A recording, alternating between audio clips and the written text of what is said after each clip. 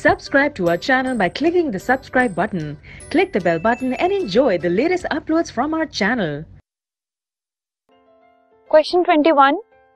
What is the number of molecules in 0.75 moles of nitrogen?